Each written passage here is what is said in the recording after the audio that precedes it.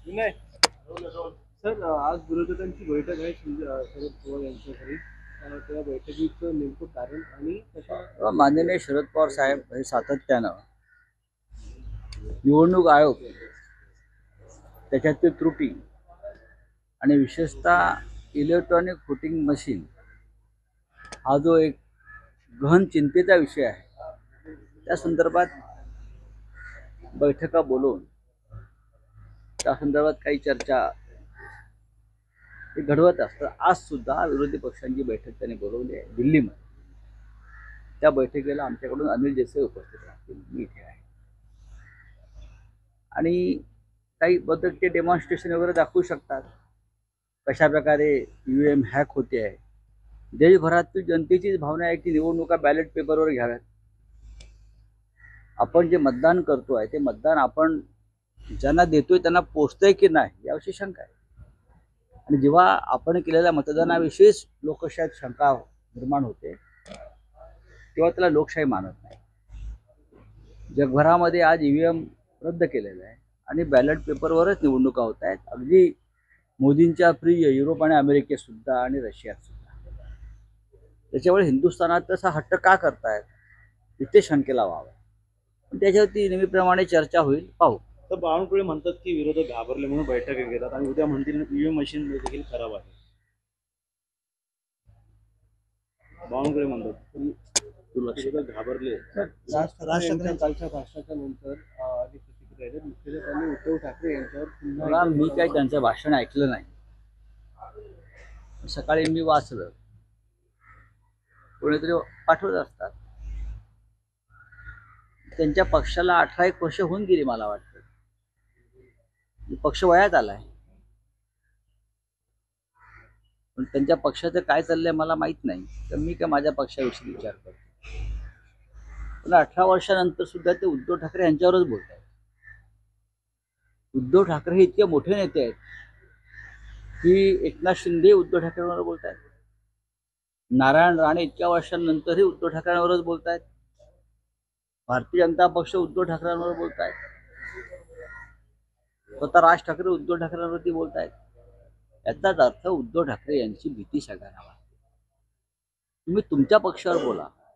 महाराष्ट्रात महागाई बेरोजगारी शेतकऱ्यांचे प्रश्न असे उफाळून वर आलेले अनेक प्रश्न आहेत. कायदा सुव्यवस्था अमृतपाल पंजाबातून महाराष्ट्रात घुसून लपलाय.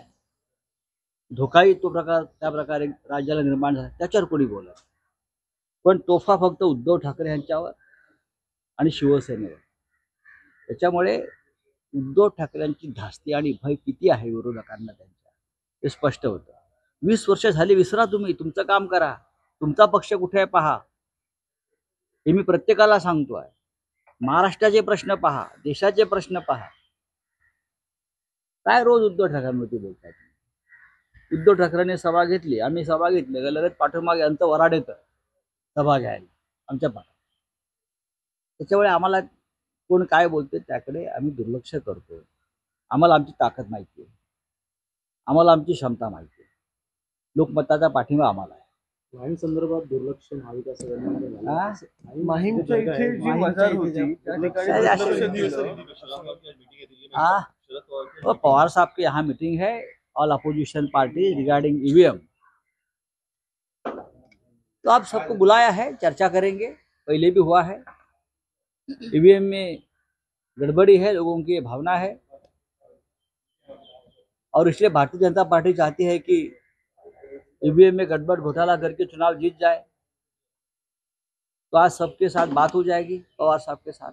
पवार साहब पवार साहब ने सबको बुलाया है।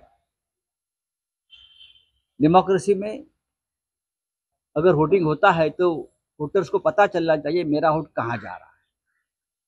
लेकिन हमारे देश में ये कोई नहीं बता सकता कि मैंने जिसको वोट दिया है उसको ही मिला है। पूरे विश्व में आज ईवीएम को खत्म कर दिया है सिर्फ़ हिंदुस्तान एक ऐसा देश है इतनी बड़ी डेमोक्रेसी में जहाँ लोग चाहते नहीं है फिर भी ईवीएम चल रहा है। तर शिवधनुष्याबाबत देखील राज ठाकरे म्हणाले ते एकाला पेलवलं नाही दुसऱ्याला बाळासाहेब ठाकरे हेच पेलवू शकतात आणि शिंदेंना सभांवरून जसं की आता आपण म्हणत असे सभांवरून देखील आणि मुंबईमध्ये सतराशे कोटींची सुशोभीकरण होत आहे त्याच्यावरून देखील त्यांनी कान टोचलेत मुख्यमंत्री. ठीक आहे त्यांनी कान टोचण्याचा धंदा सुरू करावा.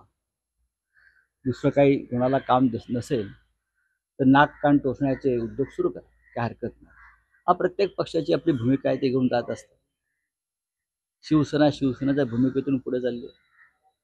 बाळासाहेब ठाकरे उद्धव ठाकरे यांच्या मागे या राज्याची जनता आहे आपण आहे.